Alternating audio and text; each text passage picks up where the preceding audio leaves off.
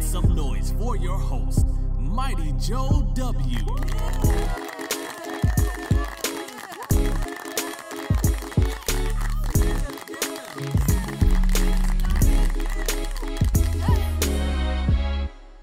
From Canada to South America to the UK all the way to Asia.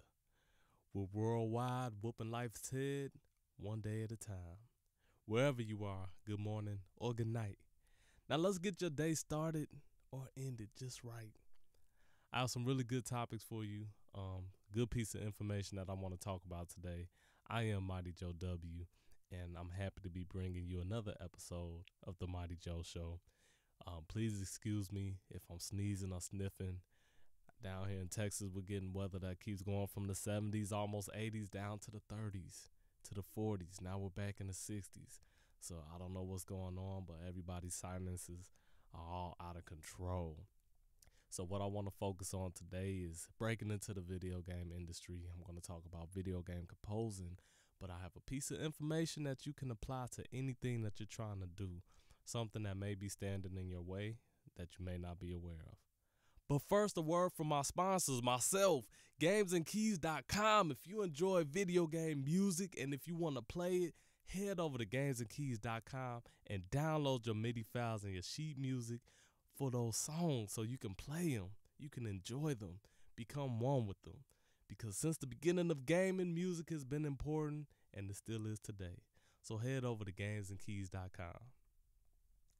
I did that off the top of my head. I didn't write that down. And I'm proud of that spot.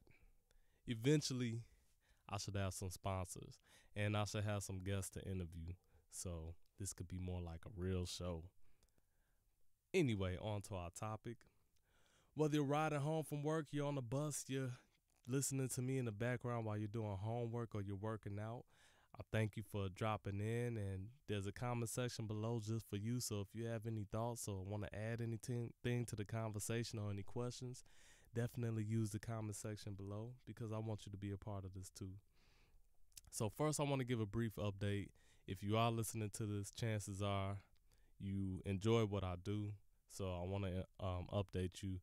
As you can see, I've been more active on YouTube. Uh, I've had a little more time, and I, well, I've dedicated more time and I actually put a new video game piano tutorial last week, which was for the game Life is Strange, which I've been hearing mixed reviews about, but from what I've heard, it seems to focus on some character development and plot. So I'm interested in it, and I'll be listening to the rest of the soundtrack to see if I want to do any other songs. So just a brief history on the piano tutorials. You know, that's where the, the channel started. And after undergoing multiple um, operating system up, updates.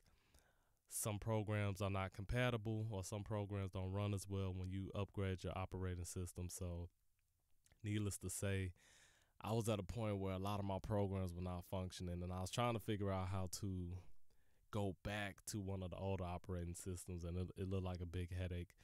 So long story short, instead of using Logic Pro and Final Cut Pro, now I'm back to using GarageBand and iMovie at the time. And for what I'm doing, they both work really, really well. So I'm actually really happy with it. So that's what I'm doing. So I've got that taken care of. I've got a good program to do the screen capture, so it's not all jittery and everything. So so now it's just on me. It's just on me making the time to continue to learn songs and do piano tutorials. Instrumentals, I've been doing, still putting samples out there just to, so things that people are familiar with, you know, such as famous video game songs, uh, famous classical songs, jazz songs, and then I'll, I'll be rolling out original music over time that you can listen to, you can enjoy, and then if there's anybody out there that does want to buy or lease, you know, that'll be coming down the line. And then um the gameplay, I haven't done any gameplay videos lately. Um I will get back to that eventually, but that's kind of on the back burner right now as I'm focusing more on the music side of things. So that's just a little brief update. Now, I want to talk about something that I've come to realize a limited belief that I've had that I wasn't quite aware of. And one of the things that I'd always been interested in, like I said, video games and music just go hand in hand. I couldn't imagine gaming without the musical experience because some of my absolute favorite soundtracks and songs are from video games. You know, all the way back to Super Mario, probably is one of the most recognizable songs ever. Uh, and just all the way through current games, you know, The Last of Us, Beyond Two Souls, um, games that were always great with their music soundtracks like Final Fantasy, Kingdom Hearts, pretty much anything on Nintendo. Now that I think about it, they always have a lot of great arrangements, and that's always been very intriguing to me. Um, video game music, composing, and video game sound. When I watched the video for the making of the music and sound for The Last of Us, I was just really intrigued because they did a lot of field work and they did a lot of creative work to come up with very specific, original, unique sounds to fill throughout the game and just were very intentional with all of the sounds in that game. And I, I can never say his name, Gustavo Santaolalla, the composer for The Last of Us. Um, just just watching him go to work, him put all the all the songs together and everything, I was like, man, that'll be really cool to do and something that'll be really fun, something I'll be really passionate about. But I've always had in the back of my head this limited belief of, well, I'm not very proficient with sight reading and with uh, sheet music. I'm a self taught musician. I play primarily by ear. By the time I finally got into classes and lessons, I'd already been playing for like seven years. So I was able to add knowledge about music theory, but at the end of the day, I was still relying primarily on my ear and never had enough drive to just dedicate the time needed to learn how to sight read, uh, learn how to sight read, just like reading any book or anything like that. So I was always like, well, how am I going to be a composer if if I don't really work with sheet music and sight read and writing out all these different parts, you know, especially if it's going to be for an or, uh, orchestra. So I was listening to the Steve Austin show, his podcast, you know, it's one of my favorites. And Jim Johnston is the composer for just about every song that you hear in wrestling on WWE, WWF back in the day, from Stone Cold to Shawn Michaels to D-Generation X to John Cena, Fandango, uh, anybody you could think of, Undertaker, Kane. He's he's done all of their music. And during the interview, he just kind of said in passing that he talks about how he comes up with the songs on the piano or the guitar. He has just a little theme in his head, or he kind of messes around. And basically, he has a guy that he works with. Once he comes up with everything, then the guy that he works with handles all of the sheet music and transcribing and writing all the different parts out and distributing it to the different people in the orchestra or whoever they bring in. And also, so keep that in mind. The other thing that helped me, and I'm going to get to my point, is I was listening to the Smart Passive Income podcast, and that's Pat Flynn.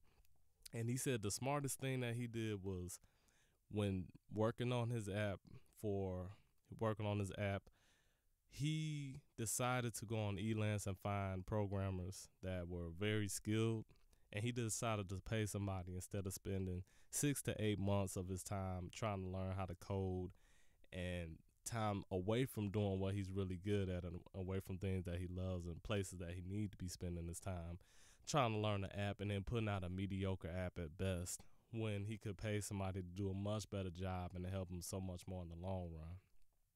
So what it got me to thinking is, man, I have everything I need and if there is something that I'm not good at, there are other people that have those skills that don't have the skills that I do. So I just want to encourage everybody out there if there is something, no matter how far fetched the dream may seem or silly it may seem, uh, or if you feel like you're not up to par, you know, you feel like you're not ready, chances are, like, when are you ever ready? You know, and that's a rhetorical question because there's so many things in life where you just kind of got to get thrown in the fire and got to learn on the fly. I've been in that situation many times when I didn't think I was prepared for something, but that's how we grow and that's how we improve.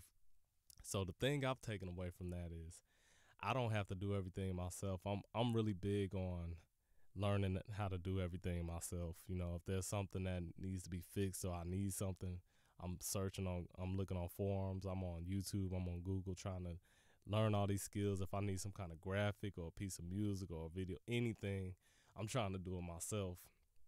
And I'm just starting to realize it is valuable. It's probably value. It's good to have skills. It's good to be a jack of all trades, but I believe it's best to really focus in on what you're good at, and then if you need something, you know, find somebody who's really good at that thing. So, so you don't have to know how to do anything.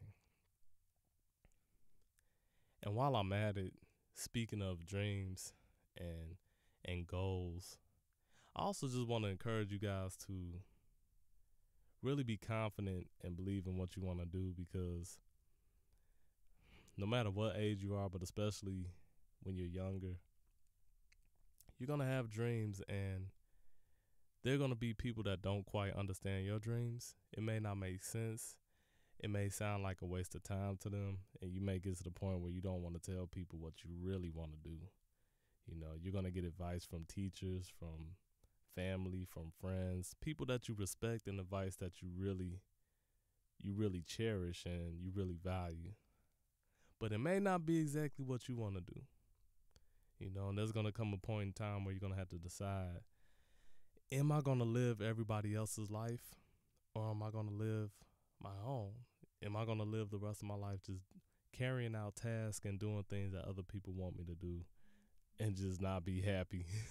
Maybe happy because you like helping people, or at some point are you gonna pursue your passions, follow your dreams? It's really something to think about. Um, we all have to do things in life that are smart and logical at times, and once you get older, you know you're gonna have to pay bills and do things of that nature. But eventually, you got to find your niche. You got to go after it in some way. You know, why not? So that's my spill on that whole topic. And I just put it under the umbrella of video game composing because that's one thing that I really think would be cool. And I've gotten a little, got my feet wet a little bit with it, you know, with some of the contests I enter, with the Tetris Blitz contest and winning that, and hearing my song in the game, really cool feeling.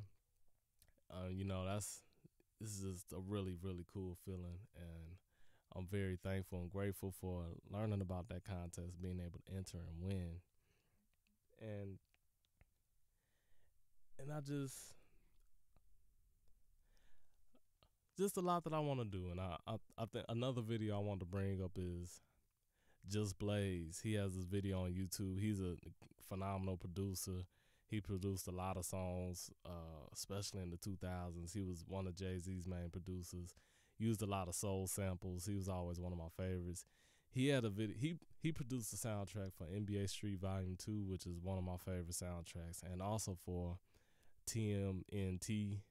I forgot what it's called, Shadows or something. It came out like last year, and it was really tight seeing that video and seeing him bring that style into gaming. So a lot of video games have more orchestral kind of classical influence, or maybe if it's a horror game, you know, horror themes, uh, things of that nature. But I'm like, you know, I would like to bring some of my kind of urban influence into some different games as well.